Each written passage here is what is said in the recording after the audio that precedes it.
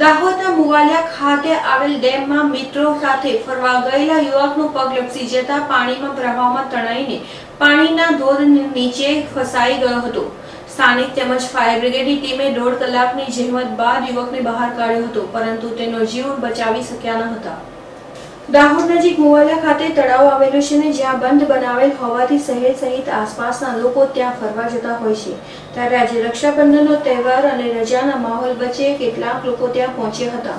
જેમાં દાહોદના પરેલ વિસ્તારમાં રહેતો અઢાર વર્ષીય હિતેન્દ્ર અભયસિંહ રોજ તેના નાના ભાઈ તેમજ અન્ય ત્રણ મિત્રો સાથે મુવાલા ગયો હતો.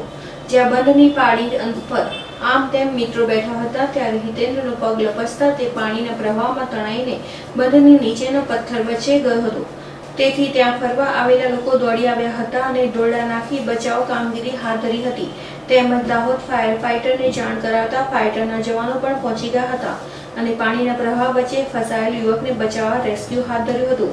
જિંદગી અને મોત વચ્ચે ઝઝૂમી રહેલા હિતેન્દ્રને બચાવવા સ્થાનિકો તેમજ ફાયરના જવાનોએ દોઢ કલાક સુધી ભારે જહેમત કરવી પડી હતી. ઉપરથી પડી રહેલ ધોધનું પ્રેશર ખૂબ જ હોવાથી હિતેન્દ્રને બહાર કાઢવું ખૂબ જ મુશ્કેલ બન્યું હતું. પરંતુ અખાધ પ્રયત્નો બાદ હિતેન્દ્રને બહાર કાઢવામાં સફળતા મળી હતી. પરંતુ તેનો જીવ બચાવી શકાયો ન હતો. જ્યારે બહાર લવાયો ત્યારે તે જીવિત જણાતા એકસો આઠ મારફતે તાત્કાલિક સરકારી હોસ્પિટલે જેલ જવાયો હતો. પરંતુ હિતેન્દ્રે પ્રાણ છોડી દીધા હતા અને બનાવની જાણ પરિવારજનોને થતા હોસ્પિટલ ખાતે પરિવારજનો સહિત લોકો મોટી સંખ્યામાં દોડી આવ્યા હતા અને સમગ્ર વાતાવરણમાં ગમગીન બની ગયું હતું. આજે મોવાલિયા ગામ છે, એનું તળાવ છે. ત્યાં એક ડ્રોઈંગનો બનાવ બન્યો છે. જેમાં એક છોકરો છે હિતેન્દ્રભાઈ અભયસિંહ રોજ, એના ત્રણ મિત્રો, એક એક એનો સગો ભાઈ અને બીજા બે મિત્રો સાથે અહીંયા તળાવના કિનારે પાળી છે, ત્યાં પેલા પાણી આવતું હોય, ત્યાં જોવા માટે પાળી ઉપર બેઠા હતા.